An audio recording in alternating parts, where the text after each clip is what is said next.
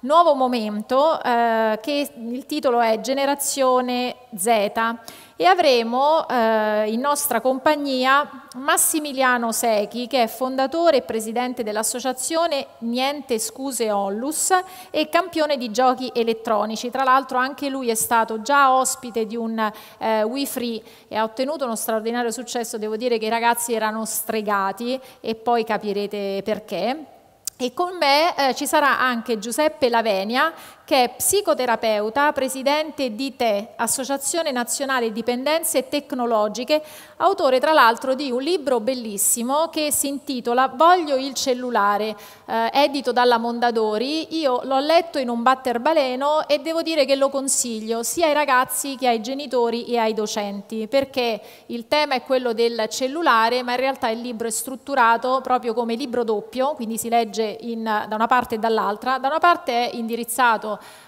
agli adulti e dall'altra è indirizzato ai ragazzi. Ma all'interno, al di là del parlare del cellulare, ci sono tantissimi esercizi che sia gli adulti che i ragazzi possono fare, perché in realtà il tema del voglio il cellulare, non riesco a dire di no a mio figlio, nasconde qualcos'altro, no? che possono essere fragilità, paure. Ecco, e ovviamente Giuseppe Lavenia da psicoterapeuta spinge i grandi e i bambini a porsi delle domande.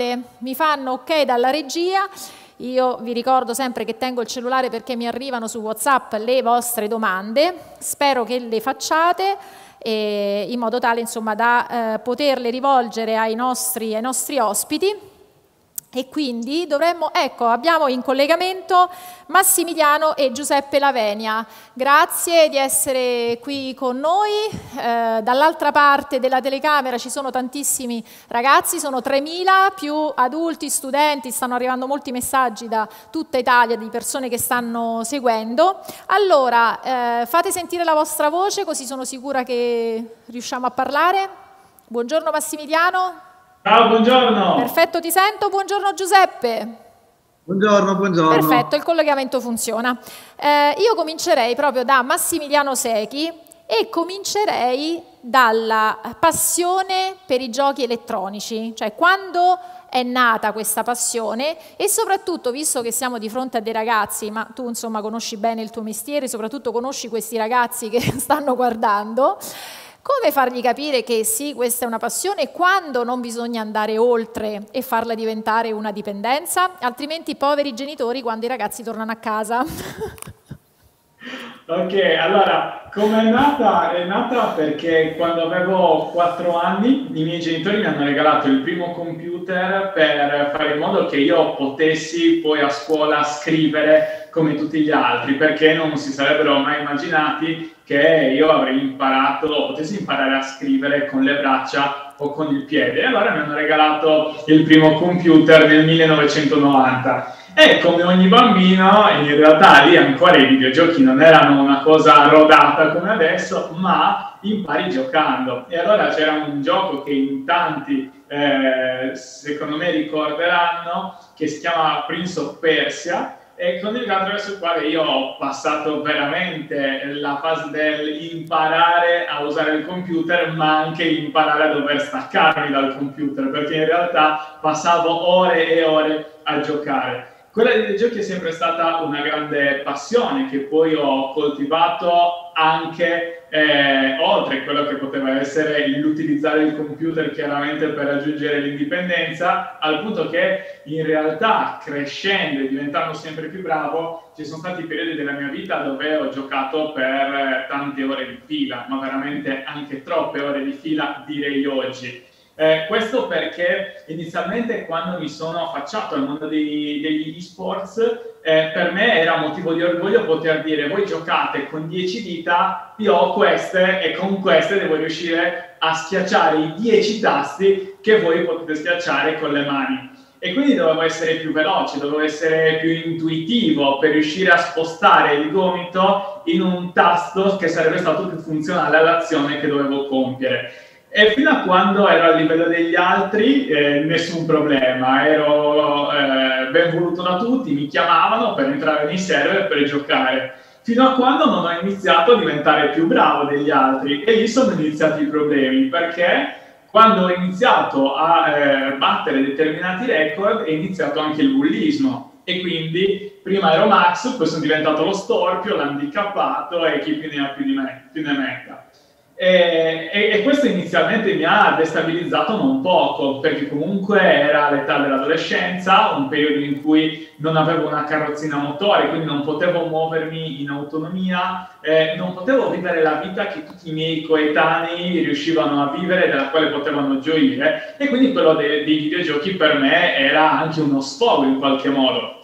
Eh, ma da lì in realtà poi ho imparato tantissimo, ma magari ne parliamo adesso col tempo. Comunque questa è come è nata la passione. Per quanto riguarda il giocare troppo, devo dire che non sono stato un grande esempio del darsi dei limiti, perché quando mi preparavo per battere i record del mondo sono riuscito a giocare per 19 ore di fila. Il Ma, punto è... No, no, purtroppo c'è stata un'interferenza, non abbiamo sentito. Okay. 19 ore. L- non lo ripeto, facciamo che l'interferenza... esatto. Eh, sì, ho giocato, ho giocato tanto, ho giocato... E, e, e però non riesco a dirti troppo, non riesco a dirti troppo perché è stato un momento della mia vita fondamentale per capire quale fosse poi la misura giusta. Ok, quindi eh, io credo che eh, al di là eh, del fatto che fosse chiaramente un, un, tempo estremo di gioco senza mai staccarti dal computer, di preparazione, era una cosa molto molto eh, intensiva, allo stesso tempo mi ha insegnato tantissime cose. Quindi come fare a eh, aiutare i propri figli a staccarsi dai videogiochi, sicuramente non proibendo, non proibendo di usarli, ma facendo capire in che modo poter provare le stesse soddisfazioni, la stessa energia, la stessa gratificazione con azioni diverse. A questo proposito, Massimiliano, diciamo che la tua domanda la giro allo psicoterapeuta, chiaramente, no? quindi eh, a Giuseppe Lavenia. Quindi come capire eh, qual è il limite, come stabilirlo, come imporre delle, delle, regole a casa e come rispondere alla domanda che eh, penso qualsiasi genitore, qualsiasi adulto si è sentito fare da quando i bambini eh, hanno imparato, credo, a parlare ormai, e cioè voglio il cellulare. Beh, intanto, intanto buongiorno. Eh, Massimiliano io lo porterei sempre con me perché è quello che dico da anni e condivido da, da sempre. Cioè che in qualche modo eh, giocare è importante, è un'attività importante, per lui è stata probabilmente funzionale anche per uscire no, da alcune situazioni dove era in difficoltà e spesso il gioco è anche questo, no? ci permette di evadere, di avere uno spazio nostro, poi lui è riuscito a trasformare in positivo eh, questa cosa, quindi ha fatto un grandissimo eh, passaggio, no? un grandissimo sforzo e che gli ha permesso di raggiungere anche gli obiettivi sicuramente importanti. È chiaro che una passione non deve diventare una compulsione, no? il vero passaggio è proprio questo, cioè quando diventa dipendenza, ok? Se vogliamo rimanere su questo termine, poi ritorno sulla domanda anche rispetto al cellulare. Certo. Diventa una dipendenza qualunque il gioco, i social, tutto quello che può essere collegato, diciamo, all'attività, in questo caso parliamo di, di, di un gioco, di un'attività ludica, può diventare dipendenza quando diventa compulsiva, cioè quando io mi rendo conto che ne sto abusando ma non riesco a smettere. E probabilmente eh, un po' tutti no? abbiamo la consapevolezza di andare oltre. Quando ci rendiamo conto di essere andato oltre, di aver perso il controllo, è lì che dovremmo in, intervenire, quando iniziamo a renderci conto di aver perso tutto, no? anche tutte le relazioni sociali. Però ripeto, non va mai tolta la tecnologia. Quindi eh, quello che ha detto Massimiliano è corretto, cioè non bisogna togliere, anzi per lui probabilmente è stata la sopravvivenza quindi prima di togliere i genitori devono informarsi di cosa stiamo parlando. Io dico sempre, cari genitori, chiedete ai vostri figli come va la loro giornata e come va la loro giornata online, perché metà della loro vita e i ragazzi la passano online, quindi bisogna informarsi di quel mondo lì, anche dei giochi, perché a parte che parlare di giochi, Massimiliano me lo confermerà, sarebbe questo momento veramente riduttivo, ma anche tutto quello che è voglio il cellulare, Tanto ti ringrazio per la, pre- la presentazione del libro, ma voglio il cellulare. I ragazzi è normale che vogliano il cellulare, anch'io l'avrei voluto. Chi è che non lo vorrebbe?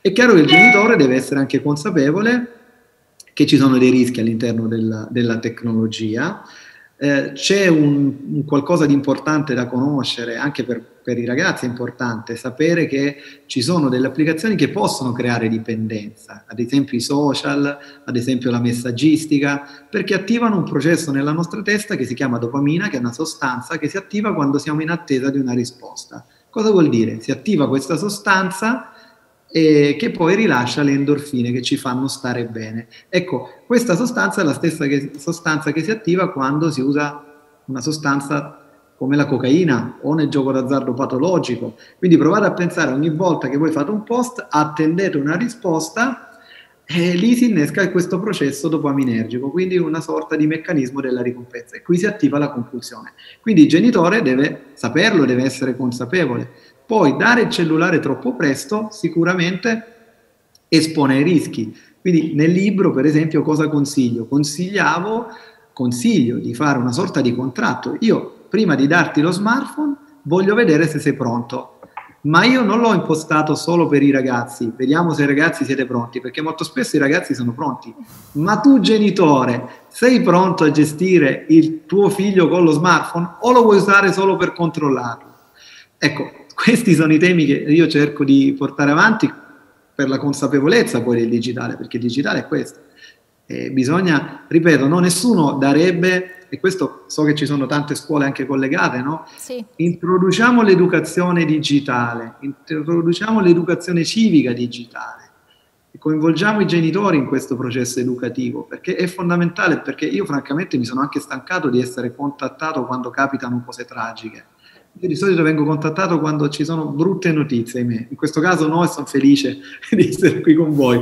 Però in generale, come nel caso, ahimè, del ragazzo campano o del fenomeno del blue whale tutte le situazioni, diciamo, che hanno portato poi alla morte di qualche ragazzo, ecco, io penso che bisogna fare prevenzione, bisogna fare educazione al digitale come bisognerebbe riparlare di educazione al, ai sentimenti, perché la tecnologia si basa sulle emozioni e invece noi dobbiamo ritornare al sentimento che è qualcosa di più importante.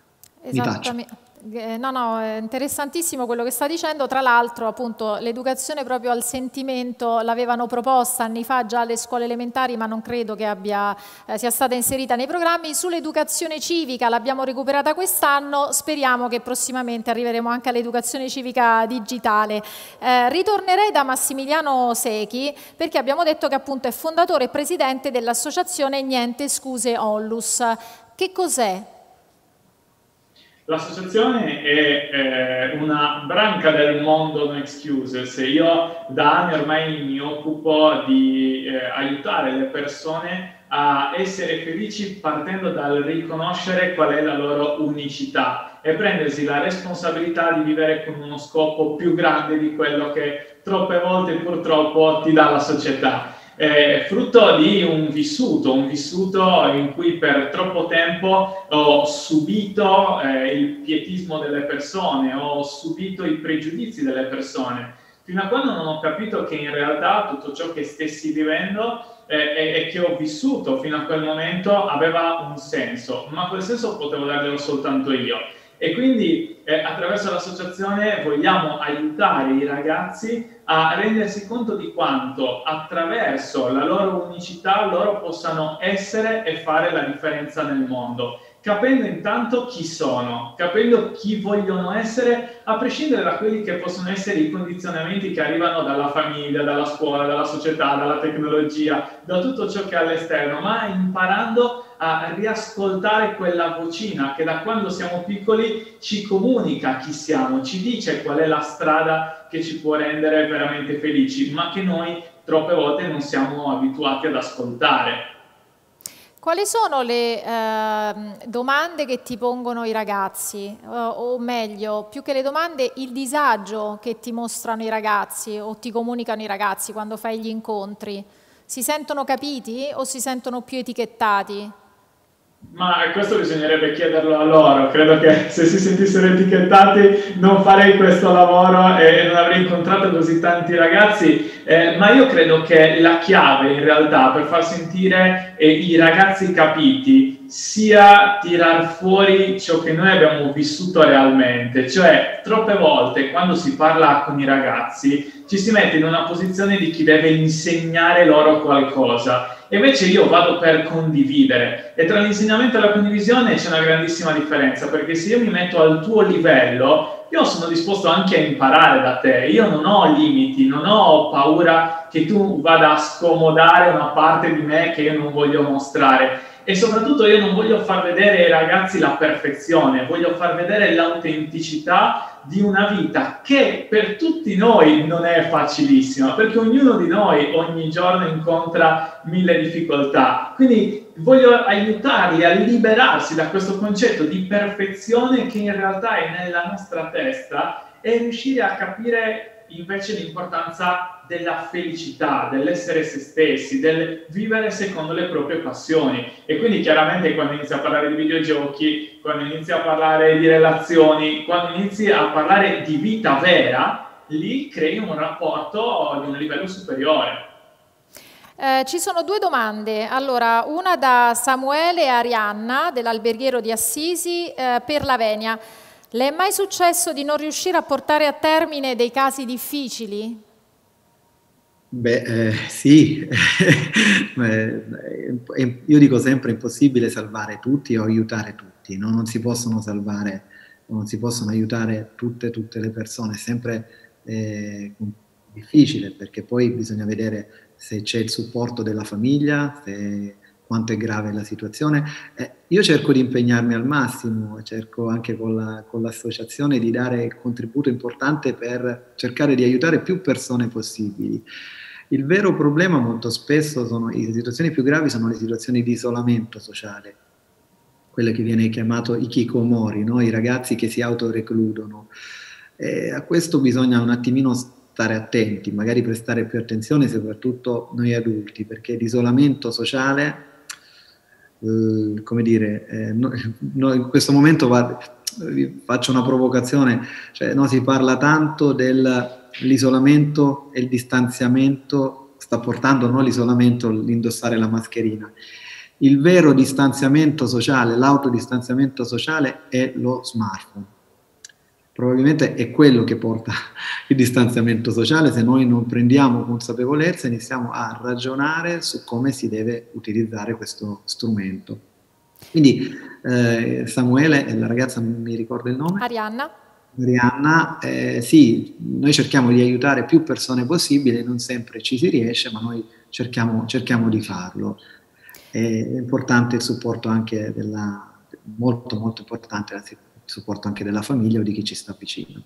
C'è un'altra domanda di Sofia, oh. Mm, chi vuole rispondere fate voi. Qual è il confine tra sport e dipendenza dalla tecnologia? Ovviamente immagino che si eh, faccia riferimento appunto ai giochi elettronici. Eh, se, se Evidentemente posso, Sofia anche... è un'appassionata di giochi elettronici, suppongo. Vai Massimiliano, vai.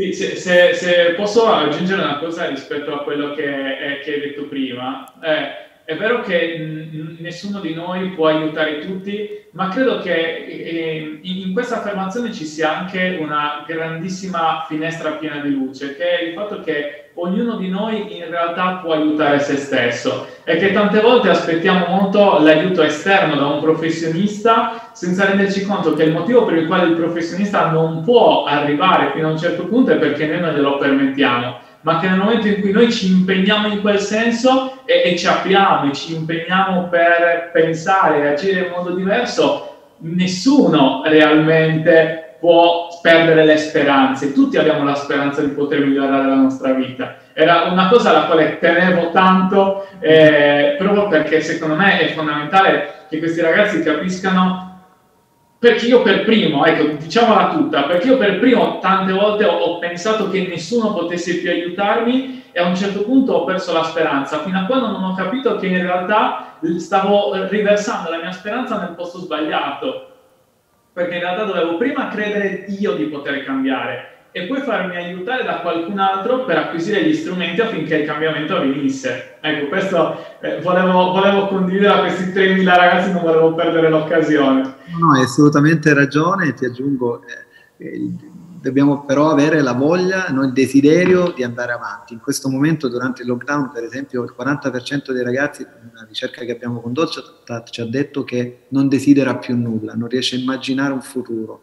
Ecco, dobbiamo immaginarlo in futuro, dobbiamo sostenere l'idea che il futuro è positivo. Anche noi adulti dobbiamo ritornare a parlare ai ragazzi che fuori non c'è solo il male, c'è anche tanto bene, si può stare bene e forse su questo bisogna fare un gran lavoro perché altrimenti me, ahimè avremo una situazione difficile nei prossimi anni legata alla salute mentale che spesso viene sottovalutata perché eh, il distanziamento, l'essere lontani, non desiderare, non progettare, continuare a dire ai nostri figli che fuori è brutto, fuori è pericoloso, lo, li porterà nel tempo a pensare che è meglio stare in casa magari dietro uno schermo.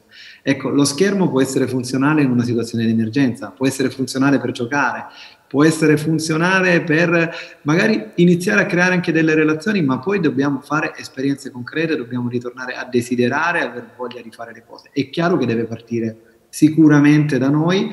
Eh, condivido che quello spazio lì dove non ci si può, dove il terapeuta, dopo chi vi vuole aiutare non può arrivare, è proprio perché una parte fondamentale ce l'ha la persona, deve essere lui forte e avere la, l'energia e la, necessi- la, la, necessaria energia per fare quel salto di qualità. Quindi condivido appieno quello che ci ha espresso Massimiliano. C'era la domanda di Sofia, però se volete potete continuare. Rispetto a questa domanda io credo che la risposta sia la scelta, cioè qual è la differenza tra eh, sport e dipendenza? La scelta. Da quando io scelgo consapevolmente di giocare e so che posso anche scegliere di non giocare senza stare male, senza eh, effettivamente eh, sentirmi ingabbiato nel doverlo fare, a quel punto può essere sport. Nel momento in cui non ne ho più il controllo, a quel punto credo che Giuseppe sia la persona più giusta per, per continuare la frase.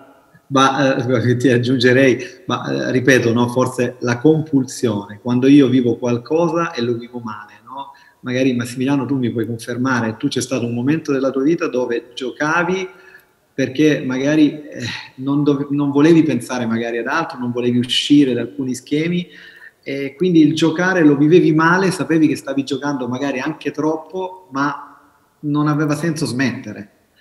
E in tanti altri può capitare eh, invece che que- questo, eh, tu in qualche modo Massimiliano hai preso atto, no? in un certo momento hai detto è successo qualcosa e da lì ho preso consapevolezza che dovevo eh, investire, investire in altro. No?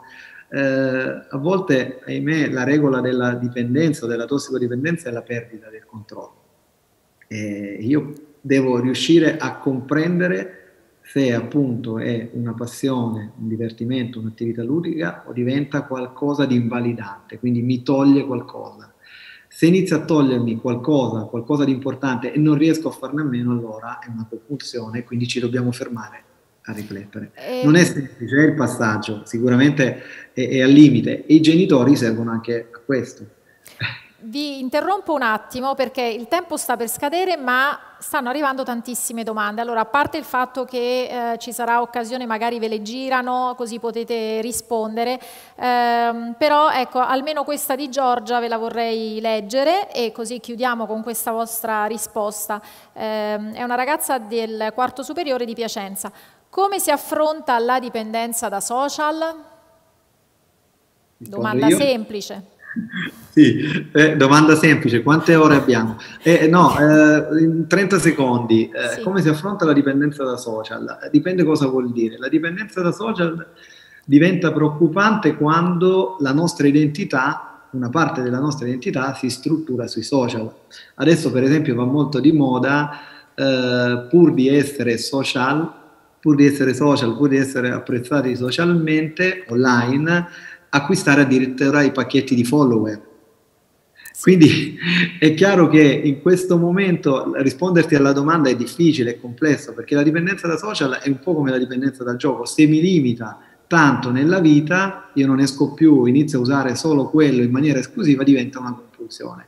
Come si fa? Eh, per uscirne bisogna capire cosa si nasconde dietro, perché la dipendenza, qualunque dipendenza è un sintomo, è una sorta di sintomo che nasconde altro, quindi ci serve a qualcosa. Dobbiamo capire a cosa ti serve, magari perché sei timida, magari perché sei in difficoltà nelle relazioni faccia a faccia e quindi qui potrebbe essere il momento dove uno può chiedere aiuto per imparare a costruire delle relazioni sane, per uscire un po' dal, nostra, dall'introversione che abbiamo.